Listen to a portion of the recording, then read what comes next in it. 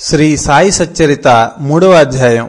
శ్రీ గణేశాయ నమ శ్రీ సరస్వత్యై నమ శ్రీ గురుభ్యో నమ శ్రీ కులదేవతాయై నమ శ్రీ సీతారామచంద్రాభ్యాం నమ శ్రీ సద్గురు సాయినాథాయ నమ. ఇప్పుడు పూర్వకథ. సాయిబాబా నాకు పూర్తి ధైర్యాన్నిచ్చి నా చరిత్రను వర్ణించటానికి నా సంపూర్ణ అనుమతి ఉంది. ఒకటి నీవు నీ పనిని చేయి. మనసులో ఏమాత్రం భయపడకు. నా మాటల ఎందు పూర్తి విశ్వాసముంచు. నీ మనసును దృఢపరుచుకో. రెండు నా లీలలను రచిస్తే అజ్ఞాన దోషం తొలగిపోతుంది. వారిని భక్తి భావంతో శ్రవణం చేస్తే ప్రపంచంపై ధ్యాస మాయమవుతుంది. మూడు శ్రవణమనే సాగరాన భక్తి ప్రేమామృతమనే అలలు లేస్తాయి. వానిలో మరల మరల మునకలు వేస్తే జ్ఞానరత్నాలు లభిస్తాయి అని చెప్పారు. నాలుగు ఈ మాటలు వినగానే నా మనసులోని సంశయాలు దూరమయ్యాయి. సాయి పాదాలకు ప్రణమిల్లి నాకు స్ఫురించినట్లు చరిత్రను వ్రాయనారంభించాను. ఐదు. బాబా పెదవుల నుండి వచ్చిన మాటలు శుభశకునమని భావించి నా కార్యం తప్పక జరిగి తీరుతుందని దృఢపరుచుకున్నాను. ఆరు. అగమ్యమైన హరిలీలలు ఆ హరికే తప్ప అన్యులకు అర్థం కావు. అవి ఎవరికీ అంతుపట్టవు. వారిని వర్ణించలేక వేదాలు శృతులు శాస్త్రాలు మూగపోయాయి. ఏడు. శాస్త్ర విశారదులు వేదవిధులు పండితులు ప్రజ్ఞావంతులు ఘటపదాది శబ్దాలతో వాదవివాదాలు చేసేవారు. వారి జోలికి పోకండి. ఎనిమిది.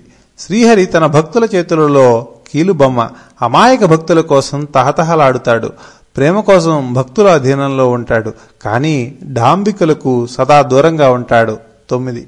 నీకు ఇదే శుభప్రదమైనది. ఇది నా అవతార కార్య సార్థకత. ఇదే నేను పదే పదే చెప్పేది. దీనిని గురించే నా చింత.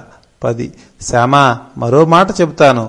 ప్రేమతో నా నామాన్ని స్మరించే వారి సకల కార్యాలను పూర్తి చేసి వారి ప్రేమను పెంచుతాను. పదకొండు. నా చరిత్రను నా మహిమలను ప్రేమతో గానం చేసే వారి ముందు వెనుక నలుదిక్కులా నిలిచి ఉంటాను. పన్నెండు. నా కొరకు మనోప్రాణాలు అంకితం చేసే భక్తులకు ఈ కథాశ్రవణంలో ఆనందం కలగటం సహజం. పదమూడు. నా కథా సంకీర్తనలు చేసేవారు ఎవరైనా సరే వారికి ఎల్లప్పుడూ ఆనందాన్ని సుఖశాంతులను ప్రసాదిస్తాను. ఇది నా సత్యవచనమని నమ్ము. పద్నాలుగు. నా అనన్య శరణు జొచ్చి విశ్వాసంతో నా భజన నా ధ్యానం నా స్మరణ చేసేవారని నేను ఉద్ధరిస్తాను. ఇది నా ప్రతిజ్ఞ. పదిహేను. నా ఎందు భక్తితో నా నామాన్ని జపిస్తూ నా లీలలను గానం చేస్తూ నిరంతరం మనసులో నా ధ్యానం చేసేవారికి విషయసుఖాలు ఎలా గుర్తుకు వస్తాయి? పదహారు. నేను నా భక్తులను మృత్యుముఖం నుండి లాగేస్తాను. నా ఈ కథను శ్రవణం చేసినంత మాత్రాన రోగ నివారణమవుతుంది. పదిహేడు. శ్రద్ధగా శ్రవణం చేసిన తరువాత మరణం మరియు నిధిధ్యాసనం చేస్తే శాంతి లభిస్తుంది. పద్దెనిమిది. అంతేకాదు అహం సోహం మాయమైపోతాయి. అనన్యమైన పరిపూర్ణ శ్రద్ధ గల శ్రోతలు ఉన్మని స్థితిని పొందుతారు. వారి చిత్తం చైతన్య ఘనము అవుతుంది. పంతొమ్మిది. సాయి సాయి అనే నామస్మరణ కలియుగంలోని సకల దోషాలను దహించి వేస్తుంది. సాయికి ఒక సాష్టాంగ ప్రమాణం చేస్తే వాక్కుతో పలికిన పాపాలు చెవులతో విన్న పాపాలు నశించిపోతాయి అని చెప్పారు. ఇరవై. రచనా కార్యం సామాన్యమైనది కాదు. అయినా వారి ఆజ్ఞను శిరసావహించాను బాబా వంటి ఉదారులైన దాత అండగా ఉండగా నేను దైన్యాన్ని ఎందుకు ఆపాదించుకోవాలి? ఇరవై ఒకటి. వారు ఒకరి ద్వారా మందిరాన్ని నిర్మాణం చేయించారు. మరొకరిని హరికథా కీర్తనాదులలో నిమగ్నలను చేశారు. ఇంకొకరిని తీర్థయాత్రలకు పంపారు. నన్ను వ్రాయటానికి కూర్చోబెట్టారు. ఇరవై రెండు. నేను అందరికంటే పామరుణ్ణి. నాలో ఏ గుణాలను చూసి ఆ కరుణాసాగరులు నాపై కృపాదృష్టిని కురిపించారో నేను ఏమాత్రం ఎరుగను. ఇరవై మూడు. గురుకృపలోని విశిష్టత ఇదే. అది ఏమాత్రం తడి లేకుండానే ఎండి మూడు బారిన చెట్టును కూడా ఏ ప్రయాస లేకనే పుష్పింపజేసి బాగా ఫలాలు లభించేలా చేస్తుంది. ఇరవై నాలుగు. ఒకరు ఆశ్రమాన్ని మఠాన్ని నిర్మిస్తారు. మరొకరు దేవాలయాలను స్నానఘట్టాలను నిర్మిస్తారు. నేను సులువైన సాయి చరిత్ర పఠన మార్గాన్ని అవలంబిస్తాను. ఇరవై ఐదు. ఒకరు సత్కారపూర్వకంగా అర్చన మరొకరు పాద సంవాహన సేవ చేయగా నా మనసు సాయి గుణ సంకీర్తన చేయాలని ఉబలాట పడుతుంది ఇరవై ఆరు. కృతయుగంలో ధ్యానంతో త్రేతాయుగంలో యజ్ఞ యగాదులతో ద్వాపర యుగంలో అర్చనల ద్వారా లభించేవన్నీ కలియుగంలో గురు భజనలతో నామ సంకీర్తనలతో ప్రాప్తిస్తాయి. ఇరవై ఏడు. నేను ఏ యోగ్యత లేని వాణ్ణి అనర్హుణ్ణి చింకిగుడ్డలు బోలెడున్నా సరి అయిన వస్త్రం ఒక్కటైనా లేనివాణ్ణి అంటే పరిపూర్ణ జ్ఞానం లేనివాణ్ణి ఇటువంటి కఠిన కార్యాన్ని ఎలా స్వీకరించాలి? ఇరవై ఎనిమిది. ఏ ప్రయత్నం చేయకుండా ఊరికే కూర్చుందామంటే ఆజ్ఞాభంగం చేసిన పాతకుణ్ణి అవుతాను. పోనీ ఆజ్ఞాపాలన చేద్దామంటే ఇది ఎలా సాధ్యం? ఇరవై తొమ్మిది. సాయి సమర్థుని నిజస్వరూపాన్ని యథార్థంగా వర్ణించే శక్తి ఎవరికి ఉంది? వారు స్వయంగా భక్తులను కరుణించదలిచినప్పుడు వారికి వారే స్వయం తెలియజేస్తారు. ముప్పై. వానికి అతీతమైన విషయాలను చెప్పాలని నేను ఎందుకు ఆశించాను అని ఎవరైనా అనటానికి ఆస్కారం లేదు. ముప్పై ఒకటి. చేతిలో కలం తీసుకోగానే బాబా నా అహంభావాన్ని హరించి వేసి తమ కథలను తామే వ్రాసుకున్నారు. అందువల్ల ఇందులోని ఘనత వారిదే. ముప్పై రెండు. ఇది సత్పురుషుని చరిత్ర రచన. వారు తప్ప దీనిని ఎవరు రచించగలరు? బుద్ధికి అంతుపట్టని బాబా గుణాలను మహిమలను అవగాహన చేసుకోవటం గగన ఆలింగనం వంటిది. ముప్పై మూడు. ఊహకందని వారి మహిమలను మతిహీనుడనైన నేను ఎలా వర్ణించను? ఈ కార్యాభారాన్ని వారే వహించి వచన నిర్ముక్తులు అవ్వాలి. ముప్పై నాలుగు. బాబా నేను జన్మత బ్రాహ్మణుడనే కాని శృతి స్మృతులనే కళ్ళు లేనివాణ్ణి. ఇది నా ఈ జన్మకు దోషమే అయినా మీ వలన నాకు శోభ. ముప్పై ఐదు వేదాలు పురాణాలు బ్రాహ్మణులకు కళ్ళు. ఒకటి లేకపోతే మెల్లకన్ను రెండూ లేకపోతే అందుడే నేను అట్లే హీనుణ్ణి దీనుణ్ణి ముప్పై ఆరు. ఈ అంధునికి ఊతకరలా మీరు తోడు ఉండగా ఇక మరి నాకేం కష్టం? మీ వెంట సులువైన మార్గాన నడుస్తాను. ఇక ముందు ఏమి చెయ్యాలన్నది పామరుణ్ణైనా నాకు తెలియదు. నాకు బుద్ధిని ప్రసాదించి మీ కార్యాన్ని మీరే సాధించుకోండి. ముప్పై ఎనిమిది. బుద్ధికి అతీతమైన ఎవరి అపూర్వ శక్తితో కుంటివాడు మేరు పర్వతాన్ని దాటగలడో మూగవాడు బృహస్పతి వలె మాట్లాడగలడో అట్టి శక్తి గలవారి యుక్తి వారికే తెలుస్తుంది. ముప్పై తొమ్మిది. నేను కేవలం మీ పాదదాసుణ్ణి. నన్ను నిరుత్సాహపరచకండి. ఈ శరీరంలో శ్వాస ఉన్నంత వరకు మీ కార్యాన్ని సాధింపజేసుకోండి. నలభై. ఇప్పుడు శ్రోతలు ఈ గ్రంథ ప్రయోజనాన్ని తెలుసుకున్నారు కదూ? భక్తుల శ్రేయస్సు కొరకు సాయే దీనిని స్వయంగా వ్రాసేవారు వ్రాయించేవారు. నలభై ఒకటి. మురళికి మరియు హార్మోనియానికి రెండిటికి ఎలా మ్రోగాలి అన్న చింత ఉండదు. ఆ ప్రతిభ వాయించేవారిదే కదా. మరి నేను ఎందుకు శ్రమపడాలి? నలభై రెండు. చంద్రకాంతమణి శ్రమింపజేసే అమృతం దాని పట్టలోనిదా? కాదు అది చంద్రోదయాన చంద్రుని అద్భుత చర్య నలభై మూడు. చంద్రుని కిరణాల ప్రభావం వల్ల సాగరంలో అలలు ఉప్పొంగటానికి చంద్రోదయమే కారణం గాని సాగరం యొక్క ఘనత కాదు. నలభై నాలుగు. సముద్రంలో ఓడలు సుడిగుండాలలో చిక్కుకొని పోకుండా పెద్ద రాతి బండలకు కొట్టుకోకుండా నిరాటకంగా సాగిపోవటానికి అపాయాలను సూచించే ఎర్రటి దీపస్తంభాలను నిర్మిస్తారు. నలభై ఐదు. అట్లే సాయినాథుని మధురమైన కథలు అమృతం సహితం సిగ్గుపడేలా దుస్తరమైన భవసాగర మార్గాన్ని అతి సులువుగా దాటింపజేస్తాయి నలభై ఆరు. వారి కథలు ధన్యం. ఇవి శ్రవణాల ద్వారా హృదయంలోనికి ప్రవేశించి శరీరాభిమానాన్ని బయటికి నెట్టేస్తాయి. సుఖ దుఃఖాలనే ద్వంద్వాలు ఉండవు. నలభై ఏడు. వీనిని హృదయంలో భద్రపరుచుకుంటే మనసులోని వికల్పాలు నలుదిక్కులా పారిపోతాయి. అంతేకాదు జ్ఞానం బాగా పొగై అహంభావం నశించిపోతుంది. నలభై ఎనిమిది. బాబా యొక్క నిర్మలమైన యశస్సును వర్ణిస్తే ప్రేమతో శ్రవణం చేస్తే భక్తుల కల్మషాలు దహించుకుపోతాయి. ఇది పరమార్థానికి సులభ సాధనం. నలభై తొమ్మిది. మాయాతీత బ్రహ్మ అంటే ఏమిటి? మాయను ధరించే ఉపాయం ఏది? ధర్మాచరణలో ఏ ఏ కర్మలను చేస్తే శ్రీహరి ప్రసన్నుడవుతాడు? యాభై. అత్యంత క్షేమకరమైనది ఏది? భక్తి ముక్తి విరక్తి అంటే ఏవి? నాలుగు వర్ణాలకు నాలుగు ఆశ్రమాలకు ఉన్న నియమాలు ఏవి? సద్వస్తువు అంటే ఏంటి? అద్వైతానికి అర్థమేమిటి? ఇత్యాది విషయాలు అత్యంత గూఢమైనవి. యాభై ఒకటి. వీరిని తెలుసుకోవాలన్న కోరిక కలవారు జ్ఞానేశ్వర ఏకనాథులు రచించిన వివిధ గ్రంథాలను పఠించి ఆనందించగలరు. యాభై రెండు. కృతయుగంలో శమ దమాదులు త్రేతాయుగంలో యజ్ఞయాగాదులు ద్వాపరంలో పూజార్చనాదులు కలియుగంలో పరమార్థానికి సులువైన సాధనం నామస్మరణం కథాకీర్తనలు. యాభై మూడు. బ్రాహ్మణాది నాలుగు వర్ణాలకు గురుకథా శ్రవణం సాధనం. స్త్రీలు గాని శూద్రులు గాని నిమ్న జాతులకు గాని అందరికీ ఇది ఒక్కటే సాధన. యాభై నాలుగు. పుణ్య సంచయం ఉన్నవారే ఈ కథలను శ్రవణం చేస్తారు. శ్రవణంలో ఎవరికైనా నిద్ర ముంచుకుని వస్తే శ్రీహరి వారిని మేలుకొలుపుతాడు. యాభై ఐదు.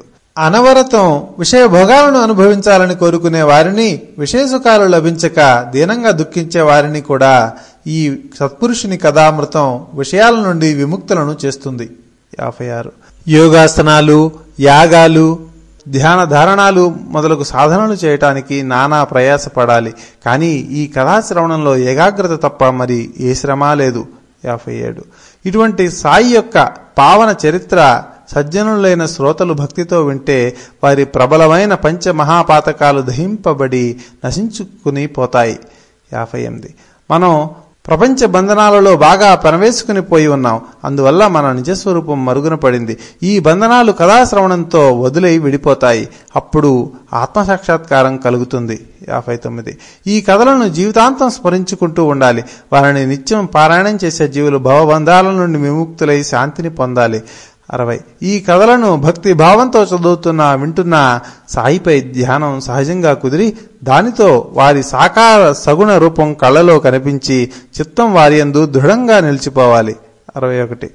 అప్పుడు సద్గురువు ఎందు భక్తి కలిగి సంసారమందు ప్రపంచమందు విరక్తి కలిగి గురుస్మరణ ఎందు ప్రీతి కలిగి మనసు నిర్మలంగా ఉంటుంది. అరవై రెండు. ఈ ఉద్దేశంతోనే సాయిబాబా కరుణతో నన్ను నిమిత్త మాతృనిగా చేసి స్వయంగా ఈ రచనా కార్యాన్ని చేశారు. అరవై మూడు. ఆవు పొదుగు నిండా బాగా సమృద్ధిగా పాలు ఉన్న దూడ లేకుండా పాలు చేపదు. ఇది ఆవు యొక్క నైజం. సాయి యొక్క ప్రేమ కూడా ఇట్టిదే. అరవై నాలుగు. సాయి దయామయి చాతక పక్షి వంటి నా కోరికను మన్నించి నాపై ఆనంద వృష్టిని కురిపించి నా చిన్న కోరికను తీర్చి భక్తులకు కూడా ఆనందాన్ని కలుగజేశారు. అరవై ఐదు. భక్తి ప్రేమల కౌశలం ఎంత విచిత్రం. బిడ్డ ఆకలి తల్లికి తెలుస్తుంది. అందుకే బిడ్డ నోరు తెరవకముందే బిడ్డ నోటికి తన స్తన్యాన్ని అందిస్తుంది. అరవై ఆరు. ఆమె బాధ ఎవరికి అర్థమవుతుంది? బిడ్డకు అది తెలియదు. అడగకుండానే తల్లి తప్ప అన్యులెవరు స్తన్యం ఇవ్వగలరు అరవై ఏడు. బిడ్డను నగలతో అలంకరించి తల్లి ఆనందిస్తుంది. కానీ అందులోని మాధుర్యాన్ని బిడ్డ ఎరుగడు. ఆ కౌశలం ఒక్క తల్లికే తెలుస్తుంది. సద్గురు పద్ధతి కూడా ఇదే. అరవై ఎనిమిది. నా బిడ్డ యొక్క అవసరాలను ఎవరు తీరుస్తారు అన్న తపన తల్లికి తప్ప ఎవరికి ఉంటుంది? అలాంటి వాత్సల్యం అరుదు. అరవై తొమ్మిది. మంచి తల్లి కడుపున పుట్టడం దేవుడు అనుగ్రహించిన మహాభాగ్యం. ఎంతో బాధను సహించి జన్మనిచ్చిన తల్లి కష్టం బిడ్డలు ఎరుగరు. డెబ్బై. ఈ విషయంలో బాబా చెప్పిన ఒక మాటను వినిపిస్తాను. సజ్జనులైన శ్రోతలు శ్రద్ధగా వినండి. డెబ్బై ఒకటి. క్రీస్తు శకం పంతొమ్మిది వందల పదహారవ సంవత్సరంలో ప్రభుత్వంలోని నా ఉద్యోగం ముగిసింది. నా అర్హతను అనుసరించి నా పింఛను నిర్ణయమైంది. అప్పుడు షిరిడి ప్రయాణానికి సమయం వచ్చింది డెబ్బై రెండు. అది గురు పౌర్ణమి రోజు గురు పూజకు భక్తులు సమావేశమయ్యారు. అన్నా చించినీకర్ తనంతట తానే బాబాతో నా గురించి సిఫారసు చేయటం వినండి. డెబ్బై మూడు. అన్నాకు నాపై చాలా చింత. బాబాతో ఇతనిది పెరుగుతున్న సంసారం. అందువల్ల ఇతనిపై కృప చూపండి. డెబ్బై నాలుగు. ఇతనికి వచ్చే పింఛను ఏం సరిపోతుంది? అన్నాసాహెబ్ను వేరే ఉద్యోగంలో ఉంచి ఇతని చింతను దూరం చేయండి అని ప్రార్థించాడు. డెబ్బై ఐదు. బాబా ఇలా జవాబిచ్చారు. ఇతనికి ఏదో ఒక ఉద్యోగం లభిస్తుంది. ఇప్పుడు నా సేవ చేయని ప్రపంచం సుఖమయమవుతుంది. డెబ్బై ఆరు. ఇతని పళ్ళ్యాలు ఎప్పుడూ నిండి ఉంటాయి. యావత్ జీవం అవి ఖాళీ కావు. భక్తితో నా వాడై ఉంటే ఇతని ఆపదలను హరించి వేస్తాను. డెబ్బై ఏడు. ఎలా ప్రవర్తిస్తే మాత్రం చెడిపోయేదేముంది అని అనేవారు మూర్ఖులు. ధర్మాచరణను త్యజించిన వారి సహవాసాన్ని విడిచిపెట్టాలి. డెబ్బై ఎనిమిది. అలాంటి వారిని భయంకరులుగా తలచి వారు ఎదురుపడితే పక్కకు తొలగిపోవాలి. వారి నీడలోనైనా ఉండకూడదు. కష్టాలను సహించాలి. డెబ్బై తొమ్మిది. ఆచారహీనులు శీలభ్రష్టులు బుద్ధిహీనులు మంచి చెడు తారతమ్యం తెలియని వారు తమ మనోభీష్టాలను ఎలా పొందుతారు? ఎనభై. ఏ రుణానుబంధం లేకుండా ఎవరూ మన వద్దకు రారు. శ్వాన శుకరాలైనా దోమలైనా అంతే. కనుక చీచి పో పొమ్మని ఎవరిని తరిమివేయకండి. ఎనభై ఒకటి. ఇకపై ప్రేమతో భక్తి భావంతో నా సేవ చేస్తే దేవాది దేవునికి కరుణ కలిగి అక్షయమైన నిధి ప్రాప్తిస్తుంది. ఎనభై రెండు. మరి ఈ పూజ ఎట్లా చేయాలి? నేనెవరో నిశ్చయంగా ఎలా తెలుసుకోవాలి? సాయి యొక్క శరీరం నశించిపోయేది. అవినాశి అయిన బ్రహ్మ పూజింప తగినవారు ఎనభై మూడు. నేను అష్టదా ప్రకృతి రూపంలో నలుదిశలా వ్యాపించి ఉన్నానని శ్రీకృష్ణుడు అర్జునునికి గీతా వ్యాఖ్యానమందు చెప్పాడు. ఎనభై నాలుగు. స్థావర జంగమాత్మక జగత్తులో వివిధ నామరూపాలన్నిటిలో నేనే అష్టదా ప్రకృతిగా నటిస్తున్నాను. ఇది నా చమత్కారమే. ఎనభై ఐదు. ఓం ప్రణవం నా వాచికం. దాని వాచ్యం నేనే. విశ్వంలో అనేక వస్తువులలో నేనే నిండి ఉన్నాను. ఎనభై ఆరు. ఆత్మ భిన్న వస్తువు కాదు. దశ దిశలలోనూ అన్ని ప్రదేశాలలోనూ నేనే నిండి ఉన్నాను. ఇక దేనిని కోరటం? ఎనభై ఏడు. ఇలా అంతటా నేనే సంపూర్ణంగా ఉన్నానన్న భావంతో నేను నాది అన్న భేదభావం తొలగిపోగా అప్పుడు ఇంకా కోరేదేమి ఉంటుంది? ఎనభై ఎనిమిది. కోరిక బుద్ధిలో జనిస్తుంది. దీనికి ఆత్మతో సంబంధం లేదు అని చెప్పారు. సాయి మహారాజు మూర్తిభవించిన మన ఆత్మయే. అక్కడ కోరిక ఎలా స్ఫురించగలదు? ఎనభై తొమ్మిది. కోరికలు అనేక రకాలు. నేను ఎవరు అని నిశ్చయంగా తెలుసుకోగానే సూర్యుని కిరణాలకు కరిగిపోయే మంచులా అవి కరిగిపోతాయి. తొంభై. నేను మనసు బుద్ధి ఇంద్రియాలతో కూడిన విరాట్ స్థూల శరీరాన్ని కాను. అగోచరమైన హిరణ్య గర్భ సూక్ష్మ శరీరాన్ని కాను నేను అనాది అయిన సనాతన సాక్షిని. తొంభై ఒకటి. ఇలా గుణాలకు ఇంద్రియాలకు అతీతంగా ఉన్న నాకు విషయాలయందు ఆసక్తి లేదు. నేను లేని చోటే లేదు. నేను చేసేవాణ్ణి కాను చేయించేవాణ్ణి కాను. తొంభై రెండు. మనస్సు బుద్ధి ఇవన్నీ ఇంద్రియాలు. ఇవి జడం అని గ్రహించిన వెంటనే విషయ సుఖాలయందు విరక్తి కలిగి జ్ఞానాన్ని కప్పుకున్న ఆవరణ తొలగిపోతుంది. తొంభై మూడు. తన స్వరూపమైన ఆత్మను మరిచిపోవటమే మాయా ప్రాదుర్భావం. నేను చైతన్య ఘన స్వరూపమని గుర్తు ఉంటే శుద్ధమైన పూర్ణానందం కలుగుతుంది. తొంభై నాలుగు. ఆ నా స్వరూపం వైపు మనోవృత్తిని మళ్ళించటమే నా సేవ. అదే నా భక్తి. నేను చిదానందుణ్ణి అనే ప్రత్యక్ష అనుభవం కలిగినప్పుడు ప్రాప్తించిన శుద్ధ స్థితి జ్ఞానం. తొంభై ఐదు. అయమాత్మా బ్రహ్మ. ప్రజ్ఞానం ఆనందం బ్రహ్మ.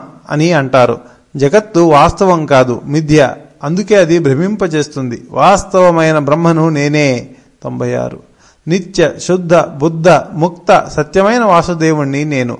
ఇలాంటి నన్ను శ్రద్ధాభక్తులతో పూజ చేస్తే స్వహితం కలుగుతుంది. తొంభై ఏడు. ఇలా నేను ఎవరు అని తెలుసుకొని నా యథార్థమైన పూజను చేసి అనన్య శరణుజొచ్చి నాలో ఐక్యమైపోవాలి. తొంభై ఎనిమిది. నది సముద్రుని శరణుజొచ్చి మరల వెనుకకు తిరిగి రాగలదా? సముద్రుని ఆలింగనం చేసుకున్న నది నదిలా భిన్నంగా ఉండగలదా? తొంభై తొమ్మిది.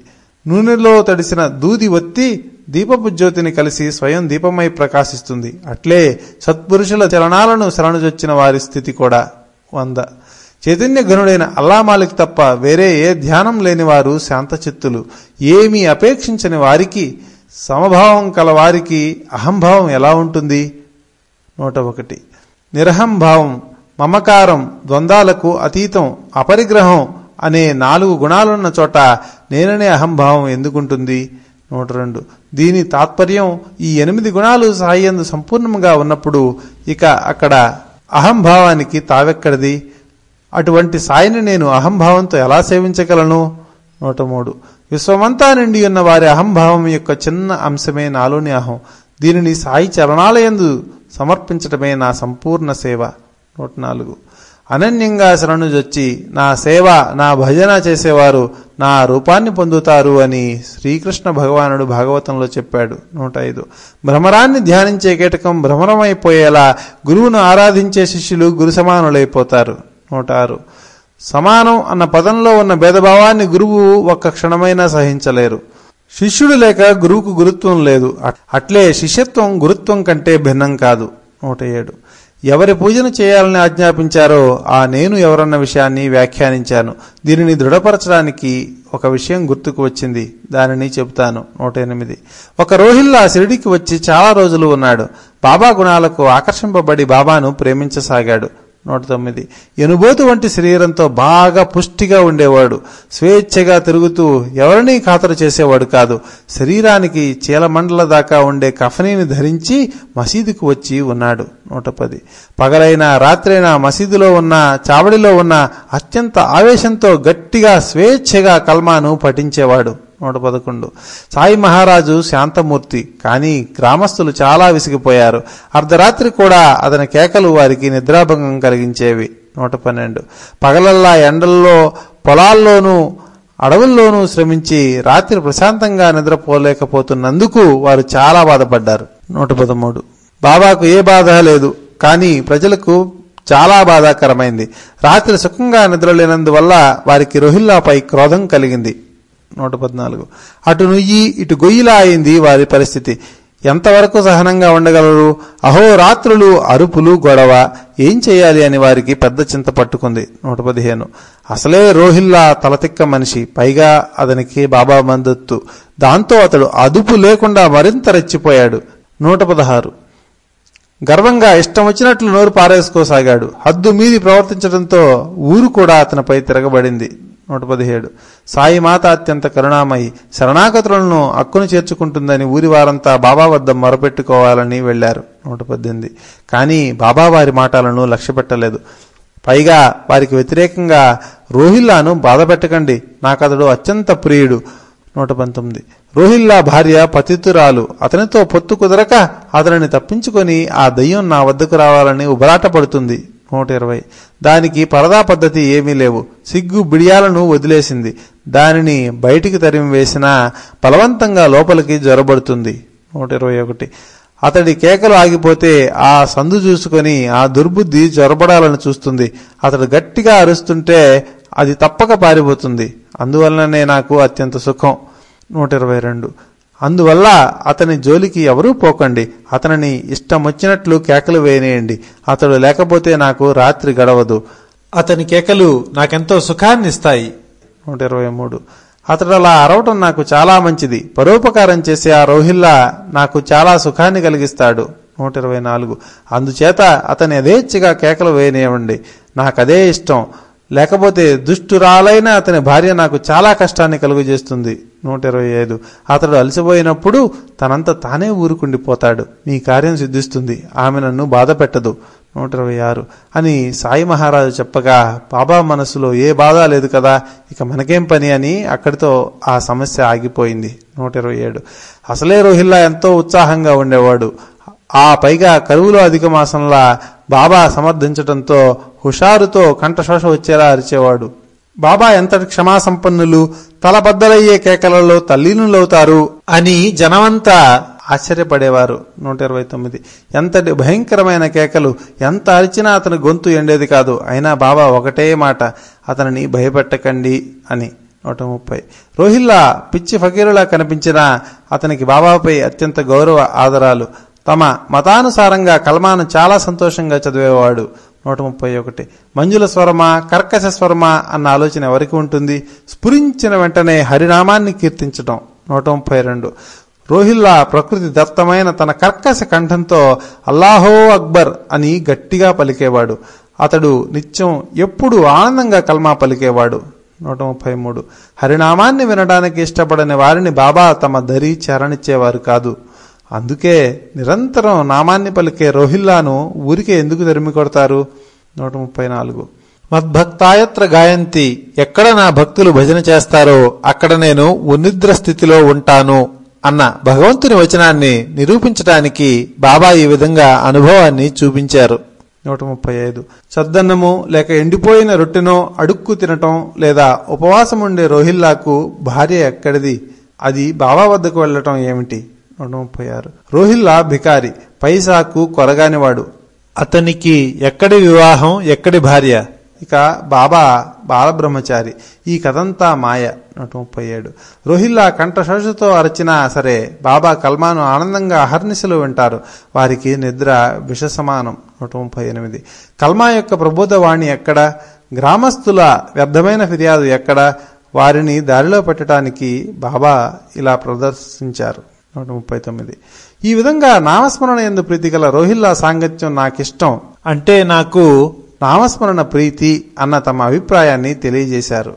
నూట నలభై. దృశ్యం ద్రష్ట దర్శనం ఇవి మూడు చైతన్య ఘనమని భావించే వారికి బ్రాహ్మణుడైన పఠాను అయిన ఉభయులు సమానమే. నూట నలభై ఒకటి. ఒకరోజు మధ్యాహ్న హారతి అయిన తరువాత భక్తులు తమ వసతులకు బయలుదేరుతుండగా బాబా నోటి నుండి వెలువడిన మధుర వచనాలను వినండి. నూట నలభై రెండు. మీరెక్కడున్నా ఏం చేస్తున్నా మీ చర్యలన్నీ ఎప్పుడూ నాకు తెలుస్తూనే ఉంటాయని సదా గుర్తుంచుకోండి. నూట నలభై మూడు. ఇలా తెలియజేసిన నేను సర్వాంతర్యామిగా అందరి హృదయాల్లో ఉండేవాణ్ణి అంతటా చరించేవాణ్ణి. ఇలా నేను అందరికీ స్వామిని. నూట నలభై నాలుగు. లోపల బయట నేను చరాచర సృష్టిలో అన్ని ప్రాణులలో నిండి మిగిలి ఉన్నాను. ఇదంతా పరమేశ్వరుని చే నియమింపబడినది. దీనిని నడిపించే సూత్రధారిని నేను. నూట నలభై ఐదు.